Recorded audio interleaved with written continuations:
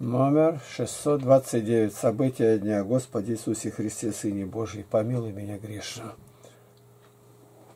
Притча 30 глава 6 стих. «Не прибавляй к словам его, чтобы он не обличил тебя, и ты не оказался лжецом». За второе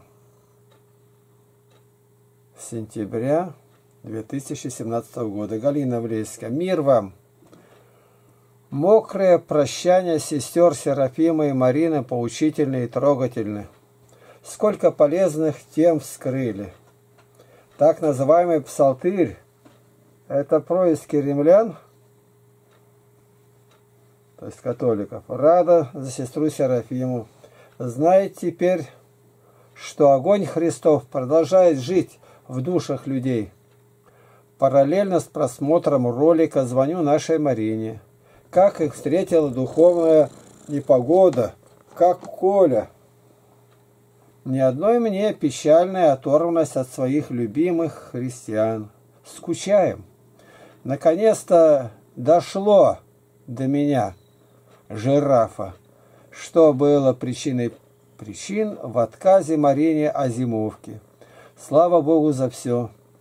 Всегда приглашаю к себе в гости Марину с Колей, а они меня – так что ниточки любви будем поддерживать, помогая друг другу. Горишь сам, не сожги соседа. Вот это и дошло до меня.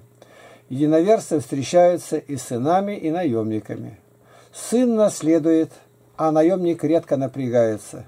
Сколько капель просьбы упало на сердце Игорю Глушкова в водяной яме.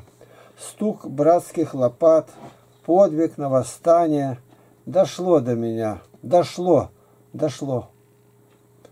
Настроение сердца, в котором царствует любовь к Богу, располагающее Бога в чувстве иметь своим и себя Божиим, равно как все Божие своим и себя. Божиим, то есть принадлежности сыновства.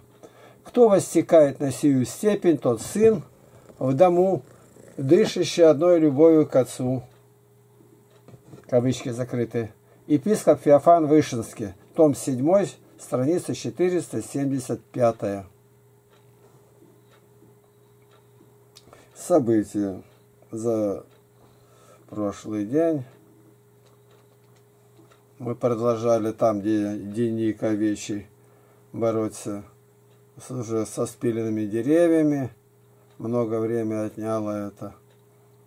А потом Остатки, где нужно, там добили. Ветви относили, как бы заплетали ей вокруг огорода, чтобы овечки не попадали. Ну и Володя топит баню. Баня. Обед, отдых. И вечернее богослужение.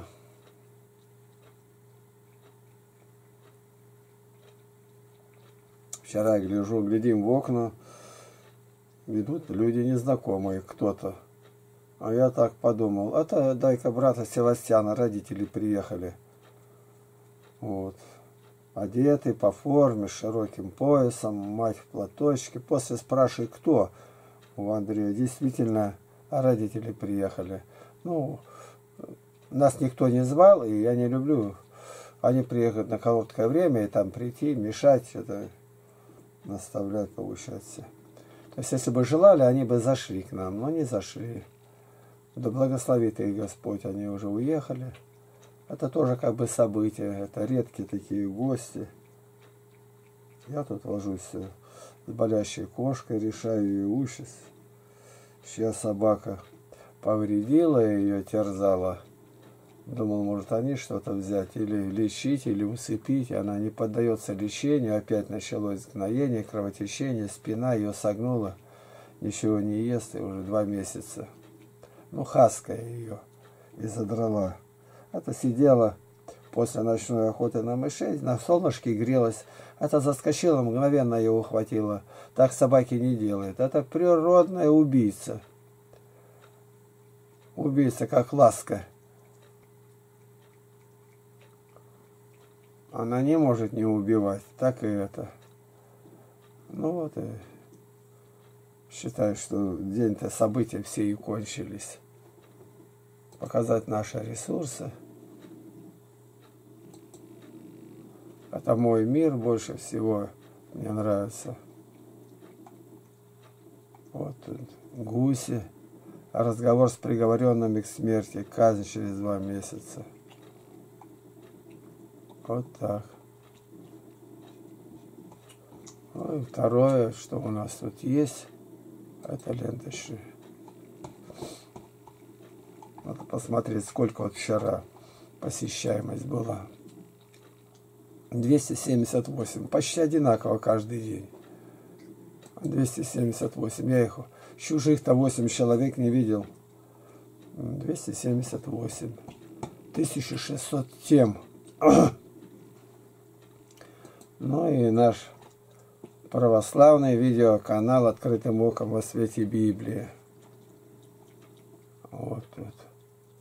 Обо мне пророчествуют лживые и страдают сами же. 55 просмотров за 41 минуту.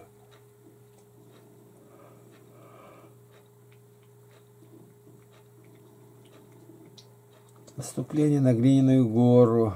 Тоже прощание с Мариной. Вот посмотрите, выставил 10 роликов. 37, 40, 50, 65, 15, 20,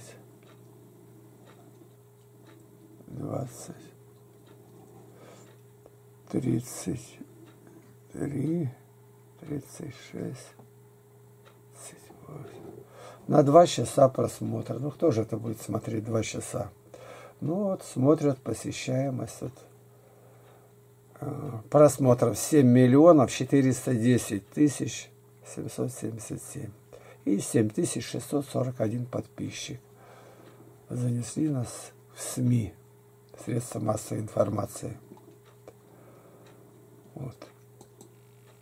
И наш большой православный библейский сайт. Вот из него сейчас беру темы, здесь вопросы-ответы о войне, помаленьку вытаскиваю. Вопрос 1571, шестой том открытым оком. Евреям 11.34. Угошали силу огня, избегали острия меча, укреплялись от немощи, были крепки на войне. Прогоняли полки чужих. Почему в этих строках апостол ставит в заслугу пророкам их участие в боевых действиях, хотя уже была дана заповедь «не убей»? Ответ. Полный текст этот выглядит так. Евреям 11, 32, 35, 39. И что еще скажу?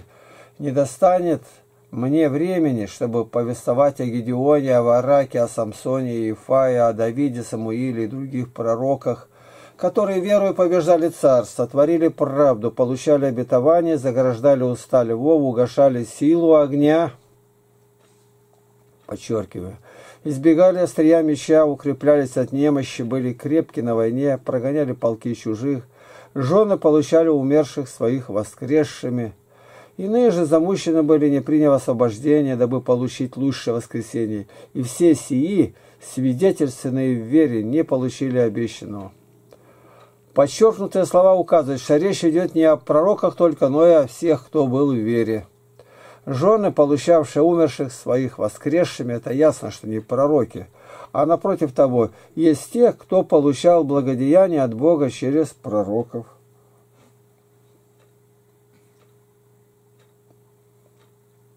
Пророки исполняли то, что им заповедал Бог – освободить землю от изживших себя народов.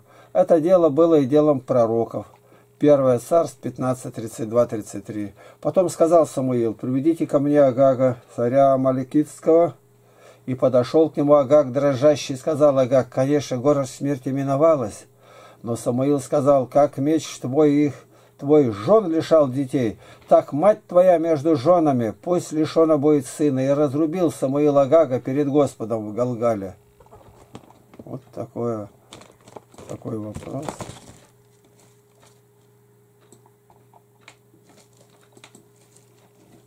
Еще один сделаем.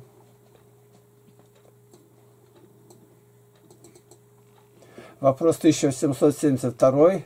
седьмой том открытым оком. О святых известно, что они так любвеобильны были никого пальцем никогда не трогали. А вот Никола Чудотворец ударил Ария еретика. Были ли еще такие случаи?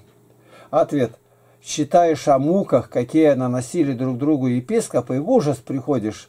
С таким садизмом казнили друг друга, отрезали уши, нос, носы, глаза выкалывали и казнили. 1 Тимофея 5.20. Согрешающих обличай перед всеми, чтобы и прочие страх имели. Это я отвечаю за кафедрой.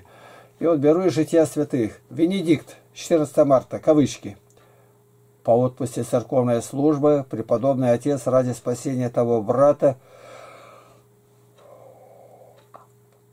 переменив свой мягкий нрав на грозный, уже не словами только, но и жезлом, наказал ленивого брата и этим отогнал от него беса, который, как бы сам принявший побои, больше уже никогда не возвращался к тому иноку. И он с тех пор совершенно исправился.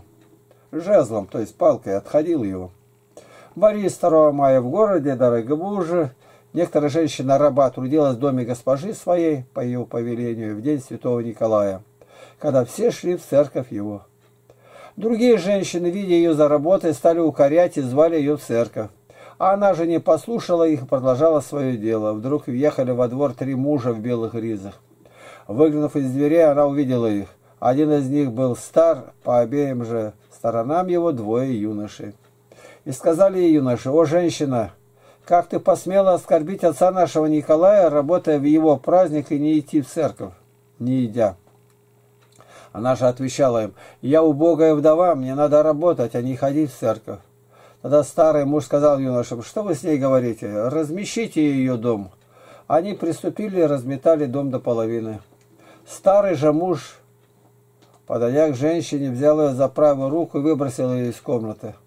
И упала она замертво. Видя женщину распростертую, соседи взяли ее и отнесли в другой дом. Положили ее и сели около, желая послушать, что она скажет. Она же не могла двинуть ни глазами, ни устами, но лежала как мертвая и ничего сама не ела, только разинув ей уста, раздвинув. Вливали ей в рот ложкой в молоко или воду. Так пребывала она до Великого Поста. В неделю мясопустную взяли женщину, отнесли в церковь святого Николая. После молитвы, совершенной над нею, она несколько открыла глаза и, как бы пробудившись от сна, попросила есть, смогла принять пищу и рассказала о случившемся. Правая же рука у нее оказалась высохшей, и она ее не ощущала. И вот она уже не имела сил служить господам. Видя такой немощной, госпожа прогнала ее от себя, и отрок, который родился у нее на свободе, стал рабом. Кирилл Александрийский, 9 июня. Из-за Златоуста после его смерти происходили большие разногласия. В то время как официальные представители Константинопольской Александрийской церкви не признавали его святым. В других церквах, например, римской и антиохийской, он был вписан в дипих и сопричислен к сонму святых. Но и в первых двух церквах было немало сторонников Златоуста, которые не разделяли воззрение своих официальных представителей и считали его святым. На этой почве происходили споры и несогласия. В Константинополе сторонники Яна Златоуста отделились даже от церкви, образовали раскол ионитов.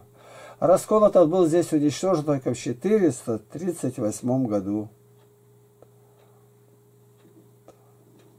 Акакий Синайский, 29 ноября. Был один старец, очень ленивый и по характеру злой. Говорю, не осуждая его, но с целью показать терпение святого, и вот что расскажу вам. Тот старец имел молодого ученика по имени Акаки, простого нравом и целомудренного умом, который так много зла терпел от того старца, что многим даже покажется – это невероятным, ибо старец не только укорами и бесчестием досаждал ему, но и всяческий день мучил его телесными истязаниями. Однако терпение его было не напрасно, потому что Акакий своей безропотной выносливостью и незлобивым страданием снискал себе благодать Божию, освобождающую его от вечного мучения. Нестор, 27 октября и действительно, малый ростом Нестор оказался в своей храбрости сильнее великого Лия. Схватив его как птицу, он сбросил великана с высокого помоста на острое поле. Упав на них, как крепкий дуб, Ли с позором изверг свою окаянную душу, и таким образом погибла память его с шумом, исчезла его гордая сила, и прекратилось суетное хвастовство Максимианова своим борцом. Юлиан и Маркиан 9 августа. В Константинополе со времен Константина Великого существовали ворота, известные под названием Медных.